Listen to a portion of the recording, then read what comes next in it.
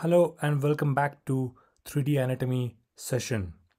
My name is Dr. Paresh Naik. I'm an ENT surgeon specializing in rhinology, skull base, and head and neck. So, what are we doing today? Well, someone in the comment section had asked me regarding relationship of infratemporal fossa to inferior orbital fissure. We are going to have a look at that today.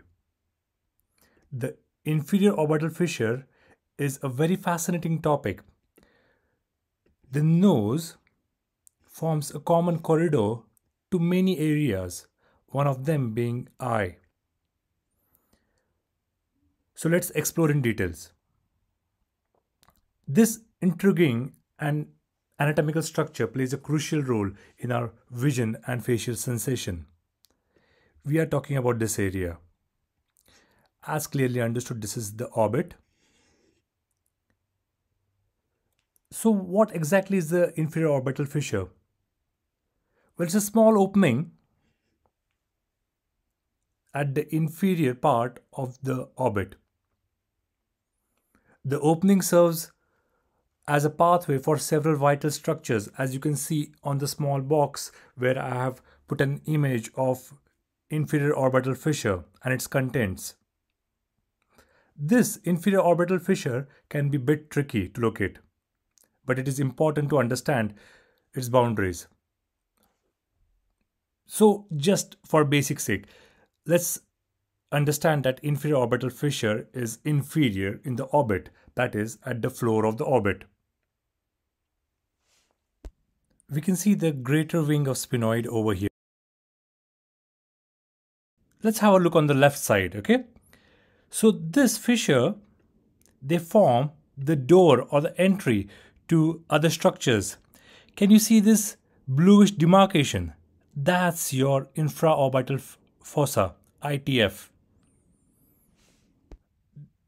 These elongated clefts, these are the fissures. This is the superior orbital fissure and that's the inferior. Quite obvious, this is inferior on the in the orbit that's why it's called as inferior. And it is going upwards that's superior. So why is this important? Or why are we looking this?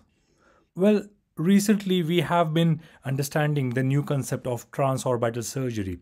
What we do is if there is an lesion especially in the ITF or any area which is easily accessible via the orbit along with ophthalmology and neurosurgeons a team effort can be made to have an access to this uh, lesion.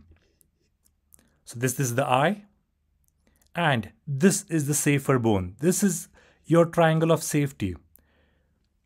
I have made a video on this on the cadaver dissection.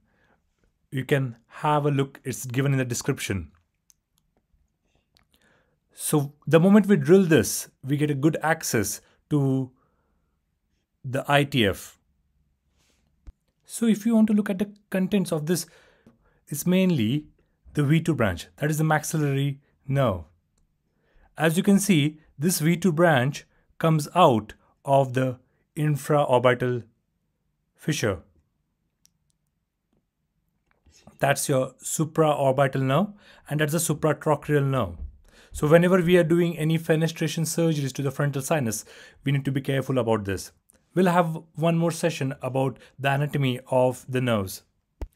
So, the whole purpose of understanding this 3D anatomy is understanding that we can approach the ITF via transorbital approach.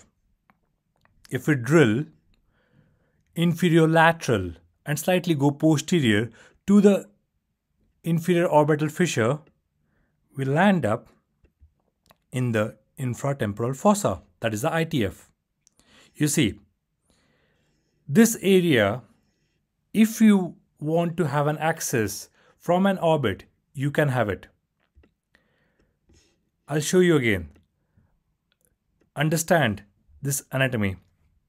You know, our brain is like a virtual reality.